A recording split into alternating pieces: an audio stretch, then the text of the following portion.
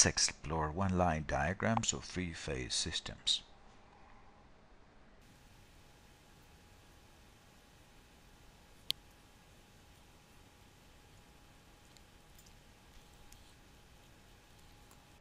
Like this one. Or alternatively, we could draw these transformers, this one and that one, with the alternative notation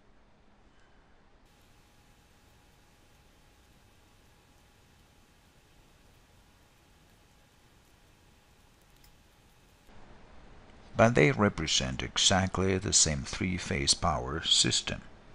Three-phase generator on one side, three-phase generator on the far side, the three-phase transformer, another three-phase transformer represented only with this notation or with the one here at the bottom. Here there is a three-phase line of impedances, another one here, another one here, there and there. This is a three-phase resistive load connected between uh, the lines and the neutral, so it is connected in AY. Let's concentrate on the one on the bottom. Erase this one on the top that is sort of distracting the issue. Voltages and impedances are usually given in a one-line diagram like this one.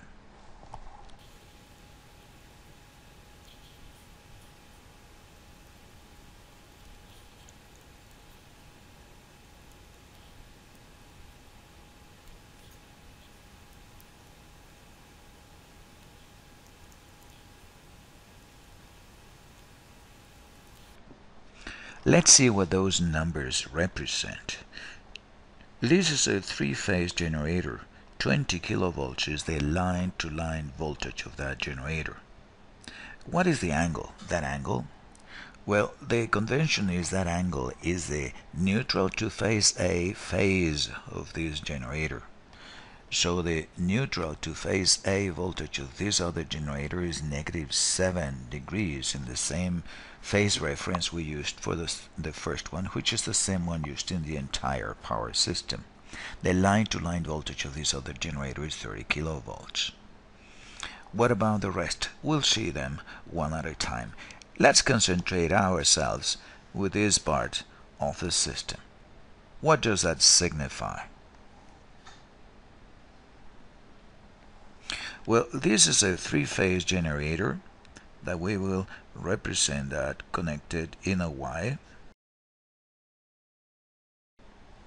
We're given the line-to-line -line voltage, 20 kilovolts, the voltage across a line. But each one of these uh, neutral to phases A, B, and C will be only 1 over root 3 of that line voltage. So this one is 20 divided by root 3 kilovolts. What about the phases? Well, uh, this angle by convention represents the phase of the neutral to phase A voltage in that generator. So this one is 0 degrees. This would be negative 120 and negative 240 or positive 120 degrees. That takes care of this generator and of those three values. What about these impedance?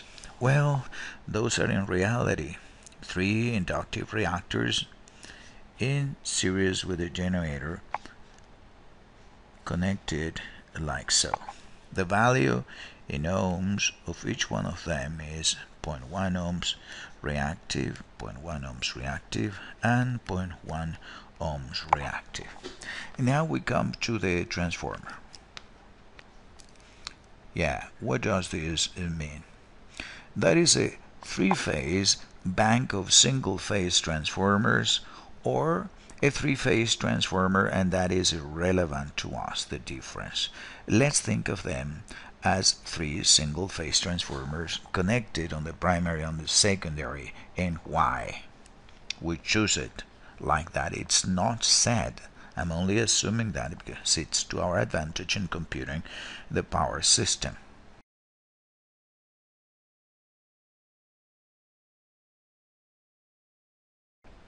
So we have three single-phase transformers, that is what that represents. Transformer X, primary and secondary, transformer Y, primary and secondary, and transformer Z or Z, primary and secondary. we're gonna get all the three primaries x1, z1 and y1 and connect them in a y in a star and that is represented just by this part of our diagram. We say those primaries will be connected primary of x and uh, primary of y and primary of z and we connect them to the rest of the system like so. And that is good. And we have drawn already part of the diagram all the way to uh, this point. What about of secondaries? Well, we take the three secondaries, x2, y2 and z2 and connect them also in a y. Let me erase this from here because it's cluttering the diagram and draw the secondaries here. Secondary of transformer X, this is, and then the secondary of transformer Y, and the secondary of transformer Z. But what are those voltages on top of a transformer? 25 kilovolts, 500 kilovolts. Are those the voltages on the primary and the secondary? No, absolutely not. They are not. They represent the A, the transformation ratio of each one of the YY single-phase transformer. So each one of those units has a ratio of 20. 500 divided by 25, 20. A is 20 with the high side on the right hand side. So you write on each one of the single-phase transformers a 1 colon 20. we connect them in a Y and we have so far drawn all the circuit up to this point. What about this? Well, uh, that is a three-phase transmission line where each one of the phases has an impedance like that. We have that impedance in this one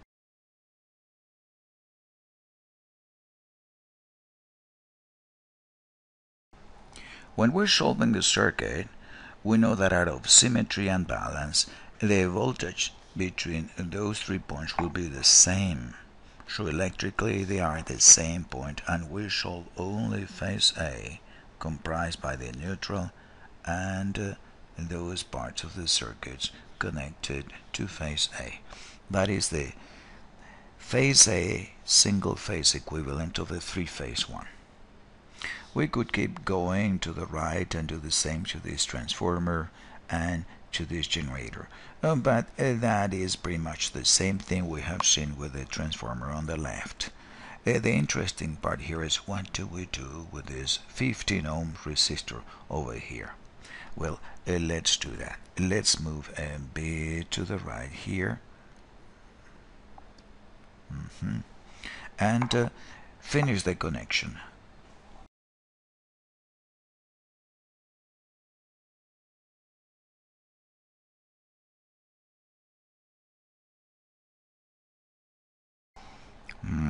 What we have here are three resistors of 15 ohms connected between the three phases and neutral.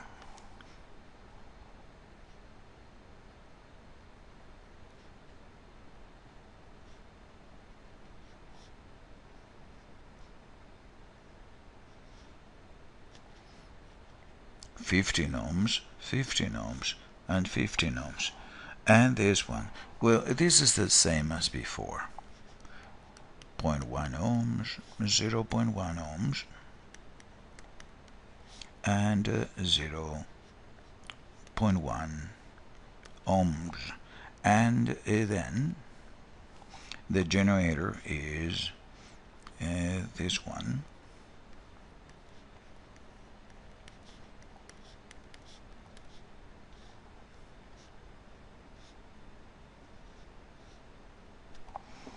and that is 30 kilovolts that is line to line that is a voltage between this point and that point. So that means this is 30 divided by root 3 kilovolts and the phase A of that generator has a phase of negative 7 degrees. And that is the system we need to solve. But in reality, we're going to be working only with phase A of all of that all of this one. That is the circuit we would be solving. And you know how to do that. Thank you very much.